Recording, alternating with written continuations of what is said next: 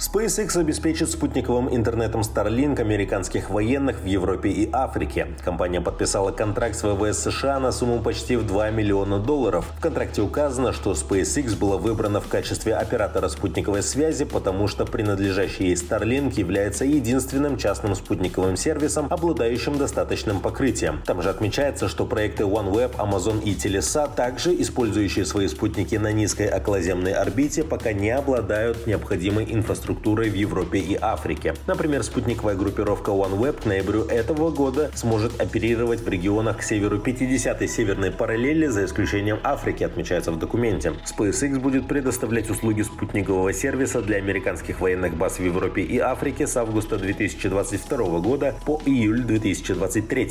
Ожидаемая скорость соединения до 500 мегабит в секунду. Компания предложит два вида спутниковых услуг. Стационарное покрытие Starlink в радиусе 22 км метров от приема передатчика в определенных точках, а также услуги мобильного спутникового покрытия с помощью портативных точек, предоставляющих доступ к широкополосной связи из разных мест. Контракт является частью программы Global Lightning исследовательской лаборатории ВВС США, чья задача заключается в тестировании и оценке коммерческих спутников путем подключения их широкополосного интернета к военным платформам. В лаборатории отмечают, что спутники, работающие на низкой околоземной орбите, более устойчивы к глушению сигналов и способны обеспечить обеспечить низкие задержки в их передаче, необходимые для поддержки тактических миссий.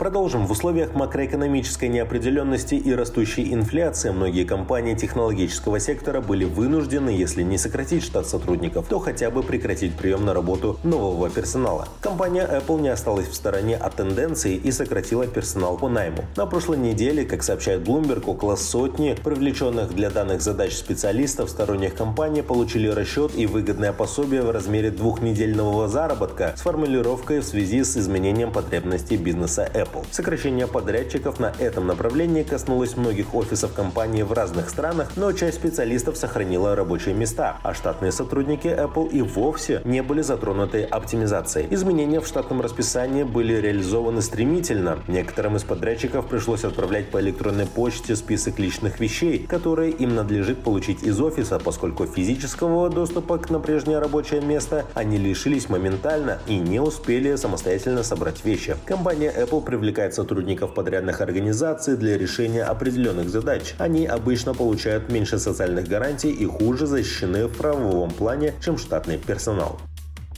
Ну и напоследок, мессенджер Signal заявил, что злоумышленники получили доступ к телефонным номерам и кодам проверки смс почти 2000 пользователей. Об этом пишет TechCrunch. Это произошло в результате взлома Twilio, который предоставляет Signal услуги по проверке телефонных номеров. В начале августа в Twilio заявили, что злоумышленники получили доступ к данным 125 клиентов после успешного фишинга нескольких сотрудников. В компании не сообщают, что это были за клиенты и, вероятно, это были крупные организации. В Signal пообещали уведомить о ситуации 1900 пользователей, чьи номера телефонов или коды проверки СМС были украдены. В Signal уточнили, что если злоумышленник смог бы перерегистрировать номер на другое устройство, он мог бы отправлять и получать сообщения Signal с этого номера телефона. Напомню, что в конце декабря 2021 года основатель Signal Мокси Марлин Спайк раскритиковал методы защиты Telegram.